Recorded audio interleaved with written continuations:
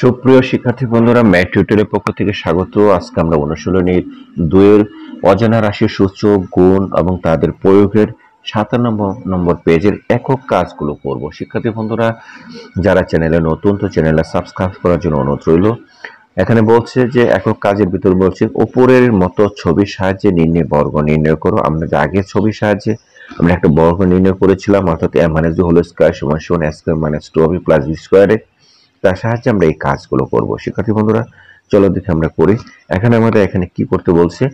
যে M plus N আবার বলছে four X plus three three X plus four ninety five তারপর হচ্ছে নাইনটি নাইন শিক্ষার্থী বন্ধুরা, এটি আমরা কি করব? ছবি এঁকে কাজটা করব। যে ছবি এঁকে কাজটা করি, তাহলে দেখো, এখানে প্রথমটা কি বলছে? এম প্লাস এন অর্থাৎ একটা বর্গ আমরা আঁকে ছোট করে। বর্গটা আঁকার পরে আমরা কি করব? কাজটা করব। এখানে দেখো, আমরা যদি এটা একটা বর্গ নিই এই বর্গের প্রতিটা বাহু আমরা কি করব? সমান করার চেষ্টা করি। তাহলে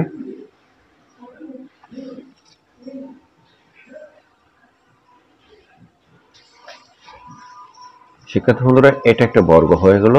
একটা কি হলো? এম প্লাস এন এর বর্গ। তার মানে এটাকে যদি একটা বর্গ আমি আগে কেটে নিলাম আমার কাজের সুবিধার জন্য, যাতে কাজ করতে সুবিধা হয়। শিক্ষার্থী বন্ধুরা আমরা, এটা হলো আমাদের এই এই বর্গটা, এই বর্গটার আমাদের এখানে এম প্লাস এন এর বর্গ, অর্থাৎ আমরা যদি এখান থেকে সম্পূর্ণ দূরত্ব কত হলো? এম প্লাস এন হলো। অর্থাৎ এটা যদি এম হয়, তাহলে এটা এন যেহেতু এটা একটা বর্গ, তার প্রতিটা বাহু সমান। প্রতিটা বাহু সমান হলে তাহলে এটা নিচেরটা এম প্লাস এমই হবে। এম প্লাস এন অর্থাৎ এতটুকু এম এতটুকু এন শিক্ষার্থী বন্ধুরা, এরপরে আমাদের এটাও একটা এম হবে, আর একটা এম হবে। শিক্ষার্থী বন্ধুরা, তার মানে এটাও এম এবং এটাও এন বর্গ আমরা নির্ণয় করব। তাহলে এই এই যে বর্গটা আছে, তার বাহুটা হলো এম প্লাস এন এই যে এই সাইডটা আছে এম প্লাস এন এতটুকু এম প্লাস এন এবং এতটুকু এম প্লাস এন অর্থাৎ একটা বর্গকে আমরা কি করলাম? এম প্লাস এন এ রূপান্তর করলাম এবং তার প্রতিটা বাহুর দৈর্ঘ্য হচ্ছে এম প্লাস এন অর্থাৎ এটাকে যদি এতটুকু এম হয়, তাহলে আমার এতটুকু এন সেটা আমি কাটলাম। এতটুকু যদি আমাদের এম হয়, তাহলে এতটুকু তার এন এবং ঠিক এতটুকু যদি এম হয়, তাহলে এতটুকু এন অর্থাৎ একটা বর্গকে আমি কি করলাম? দুইটা ভাগে ভাগ করলাম। শিক্ষার্থী বন্ধুরা, যদি দুইটা ভাগে ভাগ করি, এটা যদি এম হয়, তাহলে তার দূরত্ব এটাও এম এবং এটাও এম এবং এটাও এম শিক্ষার্থী বন্ধুরা, এটা যদি এন হয়, তাহলে এটাও এন এবং এটা যদি এম হয় এনে যদি এম হয়, তাহলে আমাদের এটাও এম শিক্ষার্থী বন্ধুরা, অনুরূপভাবে আমাদের কি হবে? এটা যদি আমাদের এন হয়, তাহলে এটাও এন এতটুকু এন আর এটা যেহেতু আমাদের এম তাহলে আমাদের এটাও এম আবার এনি যেহেতু এন এটাও এন এবং এটা এন হলো, এটাও এন এবং এটা হলো এন এটাও এন শিক্ষার্থী বন্ধুরা, এই বর্গক্ষেত্রের থেকে আমি, আমরা দুইটা বিষয় শিক্ষা নিলাম। একটা হলো, এই একটা বর্গকে আমরা যখন ভাগ করলাম, ভাগ করার পরে দুইটা ক্ষেত্র, বর্গক্ষেত্র পেয়েছি। এই যে একটা বর্গক্ষেত্র, এটা একটা বর্গক্ষেত্র। আর এটা হলো একটা আয়তক্ষেত্র এটা একটা আয়তক্ষেত্র। শিক্ষার্থী বন্ধুরা, তাহলে আমরা কি করলাম? এই যে বর্গক্ষেত্রটা আমরা পেলাম, তার প্রতিটা বাহু কি সমান? প্রতিটা বাহু সমান হলে আমরা কি লিখতে পারি? তার বাহুটা এম আছে, তার মানে কি? তার ক্ষেত্র হলো এম স্কোয়ার এখন এটা হলো একটা ক্ষেত্র, তার দৈর্ঘ্য আছে এন প্রস্থ হলো এম তাহলে ক্ষেত্র নির্ণয় করতে হলে ক্ষেত্র হলো এম ইন্টু এন তার মানে কি? দৈর্ঘ্য ইন্টু প্রস্থ এটা। শিক্ষার্থী বন্ধুরা, এটাও একটা ক্ষেত্র, এই ক্ষেত্রের দৈর্ঘ্য এন প্রস্থ এম তাহলে ক্ষেত্রফল নির্ণয় করতে গেলে কি করতে হবে? এম ইন্টু এন মানে কি? এম এন এটা একটা বর্গক্ষেত্র, তার প্রতিটা বাহু সমান। প্রতিটা বাহু সমান হলে ক্ষেত্রফল আমরা কি লিখতে পারি? বাহু স্কোয়ার লিখতে পারি, তার মানে কি হলো এখানে? এন স্কোয়ার হয়ে গেল। শিক্ষার্থী বন্ধুরা, আমরা তাহলে কি দাঁড়াল এখান থেকে? চলো তো দেখি। এম প্লাস এন এর বর্গ যদি আমরা লিখি, তাহলে লিখতে পারি, এখান থেকে আমরা কি পেয়েছি? যোগ করো এম স্কোয়ার পেয়েছি। এখান থেকে কি পেলাম? এম এন পেলাম। প্লাস এখান থেকে কি পেলাম? এম এন পেলাম। এবং এই জায়গা থেকে কি পেলাম? এন স্কোয়ার পেলাম। আমরা কি করব? আমরা যেটা করব সেটা হলো এখান থেকে M square plus two M এনটাকে যোগ করলাম প্লাস এন স্কোয়ার শিক্ষার্থী হলো সুতরাং M plus N whole square অর্থাৎ এটা সমান সমান এটা আমরা প্রমাণ করে দিলাম। শিক্ষার্থী বন্ধুর, পরেরটা আমাদের কি বলছে? দেখো, পরে আমাদের বলছে যে, আমাদের এখানে বলছে ফোর এক্স প্লাস থ্রি এটাকে আমরা করতে হবে টুটাকে ফোর এক্স প্লাস থ্রিটা যদি আমরা করি, তাহলে কীভাবে করব? সেটা আমরা করতে গেলে আমাদের আমাদের দুই নম্বরটা আমাদের বলছে ফোর এক্স প্লাস থ্রি এর আমাদের কী করতে হবে? বর্গ নির্ণয় করতে হবে। তাহলে সেটার বর্গটা আমরা নির্ণয় করি। ধরো এখান থেকে দূরত্ব দিলাম আমরা কি? Four four X plus three এটা করলাম আমরা, হাতে হাতে করলাম। এটা এটুকু আমরা ফোর এক্স প্লাস থ্রি নিলাম। তাহলে তার একটা বাহু যদি এখান থেকে দূরত্ব ফোর এক্স প্লাস থ্রি হয়, তারপরে এতটুকু, এর বাহুটা আমাদের কত? ফোর এক্স প্লাস থ্রি এটাও ফোর এক্স প্লাস থ্রি এবং এটাও তার কত? ফোর এক্স প্লাস থ্রি যেহেতু বর্গ, এবং নিচেরটা আমাদের কত? ফোর এক্স প্লাস থ্রি তাহলে এটাকে যদি আমি দুইটা ভাগে ভাগ করি, তাহলে আমি এতটুকু দিতে পারি। আমি কি দিতে পারি? এটা দিতে পারি ফোর এক্স নিতে পারি, এখান থেকে থ্রি নিতে পারি। যদি এটা এবং এটাকে যদি এনি সমান এনি হয়, তাহলে এটাকে যদি আমরা আবার ভাগ করি এখান থেকে, এই যে যেহেতু এটা একটা বর্গ, তাহলে এতটুকু হলো আমাদের ফোর এক্স এতটুকু কি হলো? থ্রি এক্স তার মানে এখান থেকে এটা যোগ করো। আমাদের কি দাঁড়াল? এখান থেকে এনি দূরত্ব থ্রি এবং এখান থেকে এনি দূরত্ব কত? ফোর এক্স তাহলে এটাও ফোর এক্স তাহলে এটা যদি ফোর এক্স তাহলে এনিও ফোর এক্স এবং এটা যদি থ্রি হয় একটা জিনিস দেখো যে, এটা এটা কত হলো? ফোর এক্স হলে, তাহলে এটাও ফোর এক্স হবে, যেহেতু এটা একটা ইকুয়াল এটা ইকুয়াল এটা ইকুয়াল এবং এটা ইকুয়াল এটা ইকুয়াল এটা ইকুয়াল এটা ইকুয়াল শিক্ষার্থী বন্ধুরা? তাহলে এখানে, এটা কিন্তু থ্রি হলো এটাও থ্রি হলো। এটা যদি থ্রি হয়, তাহলে এটাও থ্রি তার মানে এটাও থ্রি শিক্ষার্থী বন্ধুরা এখানে দেখো যে এই বর্গের বর্গের আগের মতো করেও এখানে আমরা কি পেলাম? এখানে আমরা ক্ষেত্র পেয়ে গেলাম দুইটা। এটা একটা ক্ষেত্র, এটা একটা ক্ষেত্র। আয়ত্ত আয়ত্ত পেলাম দুইটা। এটা একটা আয়ত্ত, এটা একটা আয়ত্ত। আর এটা একটা বর্গ, এটা একটা বর্গ, এটা একটা বর্গ। তার মানে কি হলো? এই বর্গের প্রতিটা বাহু দৈর্ঘ্য সমান। প্রতিটা বাহু দৈর্ঘ্য সমান হলে আমরা কি তার ক্ষেত্রফল নির্ণয় করতে পারি কি ফোর হোল স্কোয়ার তার মানে সিক্সটিন এক্স স্কোয়ার এটা হলো দৈর্ঘ্য, এটা হলো প্রস্ত তাহলে দৈর্ঘ্য ইন্টু প্রস্ত থ্রি ইন্টু ফোর এক্স সমান কত বলি? টুয়েলভ এক্স ঠিক, এটা যদি ক্ষেত্রফল হয় তার সরি এটা যদি ক্ষেত্রফল হয়, তাহলে এটা দিয়ে এটা গুণ দিব, এটা দিয়ে গুণ দিব, তার মানে এটা একবার দৈর্ঘ্য সমান কত?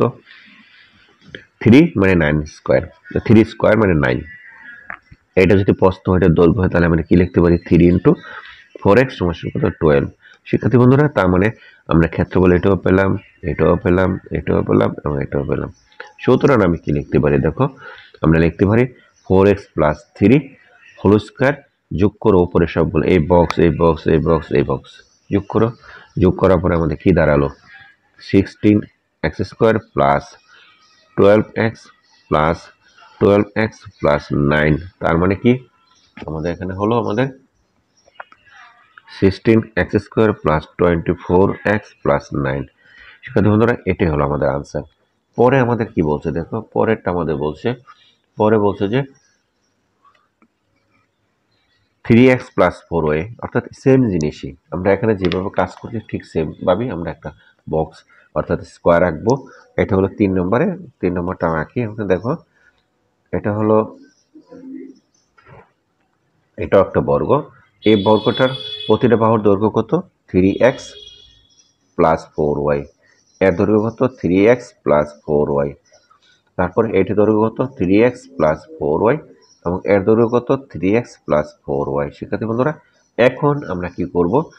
তার দুইটা বাহুকে আমরা ভাগ করব। ভাগ করে এটা হলো থ্রি এক্স এটা হলো ফোর ওয়াই তার মানে এটাকেও যদি ভাগ করি ভাগ করলে কী দাঁড়াবে? এটা দাঁড়াবে থ্রি এক্স এটা দাঁড়াবে ফোর ওয়াই শিক্ষার্থী বন্ধুরা, এই থ্রি এক্স সমান এখানে কী হবে? থ্রি এক্স হবে। এই ফোর ওয়াই সমান এটা কি ফোর ওয়াই হবে? এই থ্রি এক্স সমান এখানে কি থ্রি এক্স এবং ফোর ওয়াই সমান ফোর ওয়াই শিক্ষার্থী বন্ধুরা, আমরা আগেই জেনেছি যে একটা বর্গকে যদি ভাগ করি, তাহলে দুইটা আয়ত্র হবে এবং দুইটা বর্গক্ষেত্র হবে। এটা একটা বর্গক্ষেত্র, এটা একটা বর্গক্ষেত্র, এটা একটা আয়ত্ত, এটা একটা আয়ত্ত। এই বর্গক্ষেত্রের প্রতিটা বাহু সমান, এটাও থ্রি এক্স এবং এটাও থ্রি এক্স বাহু সমান হলে আমরা কি লিখতে পারি? বাহু সমান সমান এক বাহু সমান হলে আমরা ক্ষেত্রফল বের করতে পারি।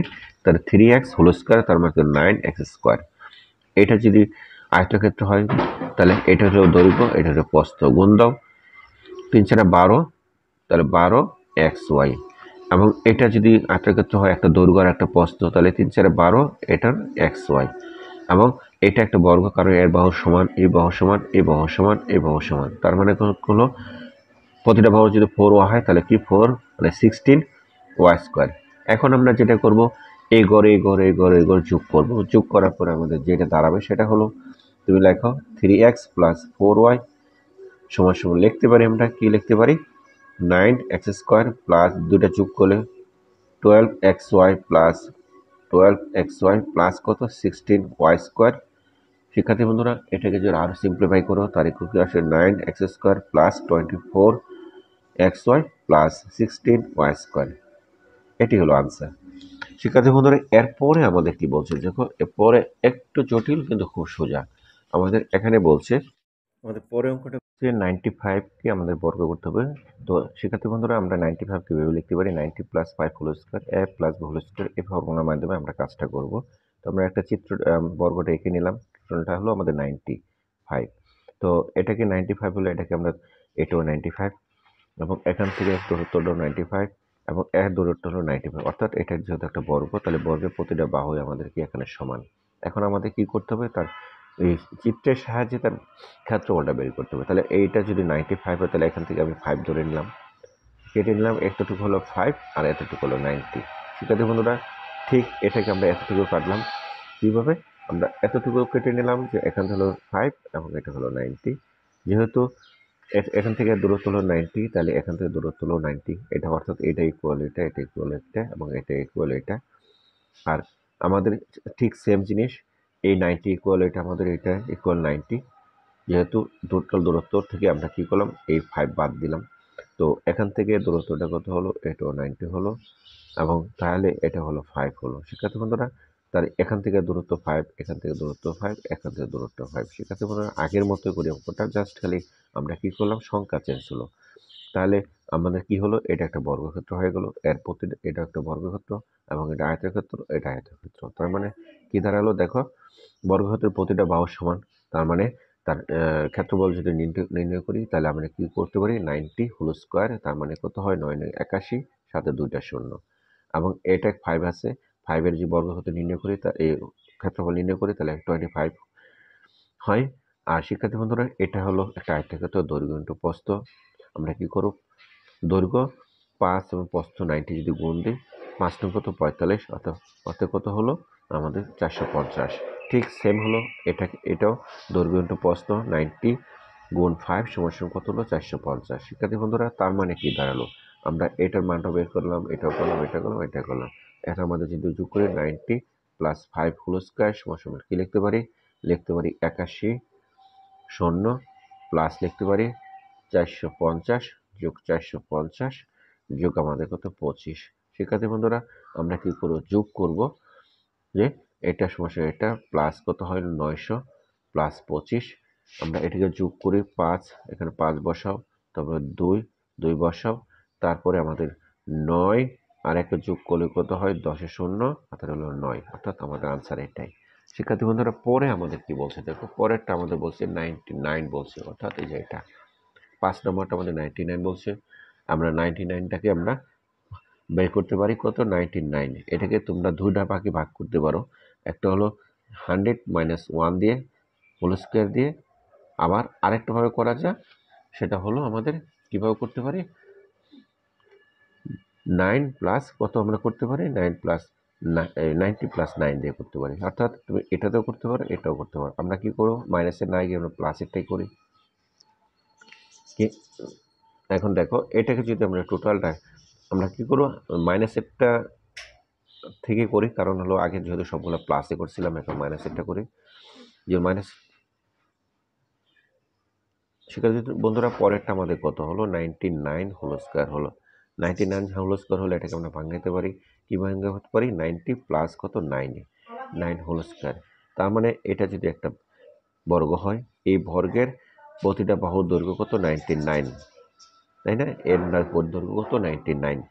এবং এর দৈর্ঘ্য কত? নাইনটি নাইন, এটাও নাইনটি নাইন। এটাকে আমরা দুইটা ভাগে ভাগ করলাম। এতটুকু নাইন ধরলাম, এ ধরুন নাইনটি ধরলাম। এটাকেও ভাগ করলাম, এটাকে নাইন ধরলাম, তাহলে আমাদের এটাও নাইন। যেহেতু এটা নাইন তাহলে আমাদের এটাও নাইন যেহেতু এটা নাইন তাহলে আমাদের এটা ইকুয়াল এটাও নাইন এবং এটাও নাইন তার মানে এখানে একটা বর্গ হয়ে গেল। এখান থেকে যদি এটা নাইনটি হয়, তার মানে এটা নাইনটি এবং এটাও নাইনটি এই বাহুর দৈর্ঘ্য নাইনটি যেহেতু এটা ইকুয়াল এটা। তাহলে এটা এত, এতটুকু থেকে নাইনটি নাইন থেকে যদি আমরা এতটুকু নাইন বাদ দিই, তাহলে আমাদের কত হলো? এটা হলো আমাদের নাইনটি তার মানে এটাও নাইনটি এবং এটাও নাইনটি শিক্ষার্থী বন্ধুরা, এটা একটা ক্ষেত্র বর্গ বর্গক্ষেত্র, এটা একটা বর্গক্ষেত্র, এটা আয়তক্ষেত্র এটা আয়তক্ষেত্র। তো যেহেতু এই বর্গক্ষেত্রের প্রতিটা বাহুর দৈর্ঘ্য সমান, তাহলে আমরা এটি কী করতে পারি? তার হোল স্কোয়ার দিয়ে আমরা ক্ষেত্রফলটা বের করতে পারি। নাইনটি স্কোয়ার কত হয়? নয় নয় একাশি, শূন্য দুইটা। এখানে এটা লক্ষ্য করো যে এটাও নাইনটি তো এই নাইনটি থেকে আমাদের কি করতে হবে?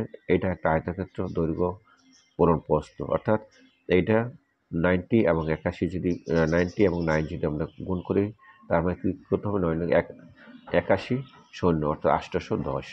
শিক্ষার্থী বন্ধুরা এখানেও এই নাইনটি এবং নাইন গুণ করে, তাহলে কী হবে? আষ্টশো দশ এবং এই নয় এবং নয়ের প্রতিটা বাহুর দৈর্ঘ্য সমান। এটাকে যদি আমরা বর্গ করি, কী হবে? একাশি হবে। শিক্ষার্থী বন্ধুরা, তার মানে আমাদের কী দাঁড়াল? নাইনটি নাইন হোল স্কোয়ারকে আমরা Bengali ninety plus nine whole square.